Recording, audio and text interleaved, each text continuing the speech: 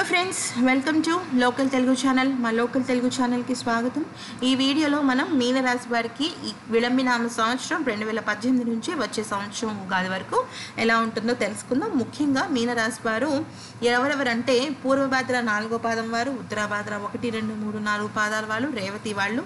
రేవతి నాలుగు పాదాల వాళ్ళు జన్మించిన వారు మీనరాశి కిందకి వస్తారు. శ్రీ శ్రీ విళంబినామ సంవత్సరంలో మీనరాశి వారికి ఆదాయం ఐదే వ్యయం ఐదే రాజ్యపూజ్యం మూడు అవమానం ఒకటి. అంటే వీళ్ళకి ఎక్కువగా కీర్తి ప్రతిష్టలు వస్తాయని చెప్పుకోవచ్చు. ఈ మీనరాశి వారికి ముఖ్యంగా ఎన్నో ఏళ్ళ నుంచి పడుతున్న సమస్యలు కష్టాలు ఈ సంవత్సరంలో కొద్దిగా ఊపిరి పీల్చుకుంటాయని చెప్పుకోవచ్చు.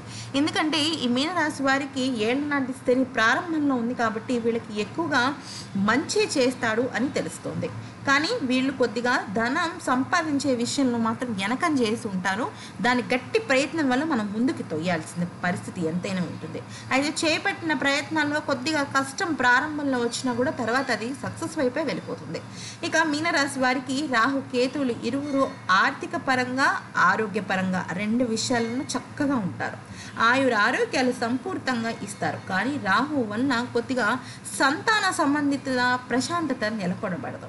ఇక రెండు వేల పద్దెనిమిది మే నుంచి అంటే మే నుంచి మీనరాశి వారికి ఎలా ఉంటుందో చూద్దాము.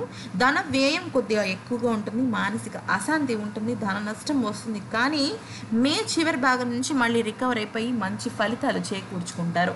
ఆర్థిక ఇబ్బందులు తొలగిపోతాయి. ఇక జూన్ రెండు వేల పద్దెనిమిది మీనరాశి వారికి సంతాన సంబంధిత రోగాలను చెప్పుకున్నాం కదండి అవి వస్తాయి. ఆర్థిక పరమైన ఇబ్బందులు మాత్రం తొలగిపోతాయి.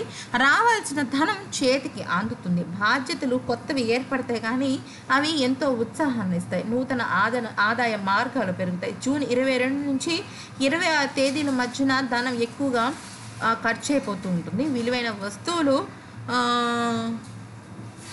విషయాల్లో చాలా జాగ్రత్త అవసరం. వాహన విషయంలో మాత్రం మీనరాశి వారు ఖచ్చితంగా మంచివి పాటించండి లేకపోతే ప్రమాదాల్లో పడే అవకాశం ఉంది. ఆగస్ట్ రెండు వేల పద్దెనిమిది ఈ మాసం వారికి అనుకూల ఫలితాలు ఇస్తుంది. గృహ సంబంధిత సంతోషాలు వస్తాయి.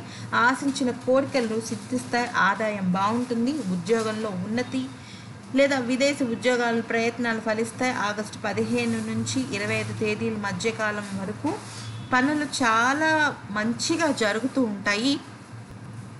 ఇక కుటుంబ విషయాల పట్ల శ్రద్ధ అవసరం. ఈ మాసంలో అంటే ఆగస్టు మాసంలో పద్దెనిమిది పంతొమ్మిది ఇరవై తేదీలు అనుకూలమైనవి కావు. ఇక సెప్టెంబర్ రెండు వేల పద్దెనిమిది మీనరాశి వారికి మంచి జరుగుతుంది. సుబ్రహ్మణ్య స్వామి ఆరాధన అవసరం. కష్టాన్ని తగ్గ ఫలితం ఉంటుంది.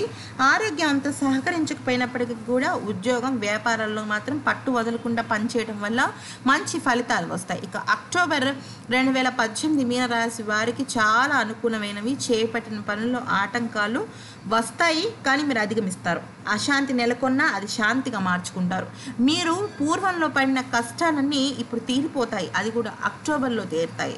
నవంబర్లో మిశ్రమ ఫలితాలు ఉంటాయి. ఎంతైతే కష్టం ఉంటుందో అంత లాభం ఉంటుంది ఎంతైతే నష్టం ఉంటుందో అంత జయం ఉంటుంది. అపజయాలు జయాలు అన్నీ బాగుంటాయి. కానీ కొన్ని స్త్రీలు కొద్దిగా ఆలోచించాల్సిన విషయం ఎంతైనా ఉంది. ఇక డిసెంబర్ రెండు వేల పద్దెనిమిది మీనరాశి వారికి సమస్యలు అలాగే కొద్దిగా కొనసాగుతాయి. కుటుంబంలో అసంతృప్తి ఉంటుంది. ఏ రకంగానూ ఆశించిన సహకారం పొందలేరు. వ్యాపారంలో ఖర్చులు అధికమవుతాయి. అందుకని డిసెంబర్ మాసం మొత్తం కొద్దిగా దైవ ధ్యానంలో మీనరాశి వాళ్ళు ఉండాలి. ముఖ్యంగా ఈ మాసంలో పది పదకొండు పదమూడు ఇరవై ఇరవై రెండు మరియు ఇరవై తొమ్మిది తేదీల్లో చాలా జాగ్రత్తగా ఉండాలి. దైవారాధన ఈ తేదీల్లో ఎక్కువగా చేయండి. ఇక జనవరి రెండు వేల పంతొమ్మిది కొత్త సంవత్సరంలో మీన రాశి వారికి అనుకూలంగానే ఉంటాయని చెప్పుకోవచ్చు. విజయాలు వరిస్తాయి చిన్నపాటి అనారోగ్యాలు ఉంటాయి. కానీ అధిగమిస్తారు. ఈ మాసంలో నూతన వాహనాలు కొనుగోలు ప్రయత్నం చేయండి. చక్కగా లాభిస్తుంది. ఇక ఫిబ్రవరి రెండు వేల పంతొమ్మిది మీ మార్చ్ రెండు వేల పంతొమ్మిది ఈ రెండు కూడా కొద్దిగా సంతృప్తికరంగానే నడుస్తాయి. ఎటువంటి పెద్ద పెద్ద కష్టాలు ఏమీ ఉండవు. ముఖ్యంగా చెప్పాలంటే శుభకార్యాలు చేకూరుతాయి. కొత్త వాహనాలు కొంటారు కొత్త వస్తువులు కొంటారు. గృహానికి సంబంధించి ఏదైనా పని చేస్తే మాత్రం ఎక్కువగా అసెట్స్ కొంటూ ఉంటారు మంచిగా లాభిస్తూ ఉంటుంది. అయితే మార్చ్ మాసంలో తొమ్మిది పది పదకొండున్న తేదీలు కొద్దిగా జాగ్రత్త పడండి. మిగతాదంతా బాగుంటుంది. మీనరాశి వారికి అన్ని గ్రహాలు బాగానే ఉన్నాయి. కాకపోతే పూర్వపు కష్టాల ఒక ఇది మీకు అంటే దాని ఒక చెడు ప్రభావం ఇంకా మీలో నిరుత్సాహాన్ని ఎక్కువగా నింపింది. నిరుత్సాహపడకండి. ఉత్సాహంతో పనిచేయండి మీనరాశి వారికి అన్నీ చక్కగా జరుగుతాయి. అన్నీ బాగుంటాయి కానీ మీలో నిరుత్సాహం ఎక్కువగా ఉంటుంది. దాన్ని జయించడానికి మీరు బాగా సంకల్పించుకుని పని చేయండి. అన్నీ కలిసి వస్తాయి. ఇలాంటి ఎన్నో వీడియోస్ కోసం దయచేసి మా ఛానల్ని సబ్స్క్రైబ్ చేయండి.